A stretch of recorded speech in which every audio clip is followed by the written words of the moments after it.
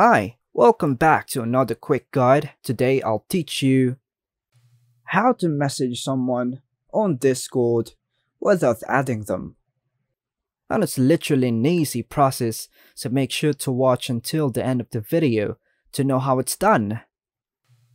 On Discord, you typically need to share a server with someone or have them in your friend list to send them a direct messages. However, there is a way to send a friend request along with the message without being on the same server. And here's how you can do it. So the first step would be open Discord and navigate to the friends section. Go ahead and click on add friend. Locate the user you want to message using the search bar or by finding them in a mutual server then send a friend request. After sending the friend request, go to the pending tab to monitor the request status.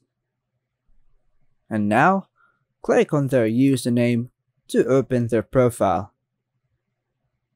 On the profile, click on the three dots to access more options. Choose message to open a direct message window. Enter your message and a chat box.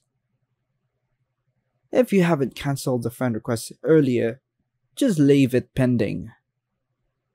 Now, you can't continue messaging them directly without being on the same server. And you just have to click on this X to cancel the friend request.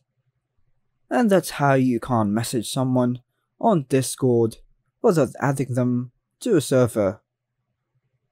It's important to note that unsolicited friend requests or messages may be against the guidelines of some servers on Discord's terms of services.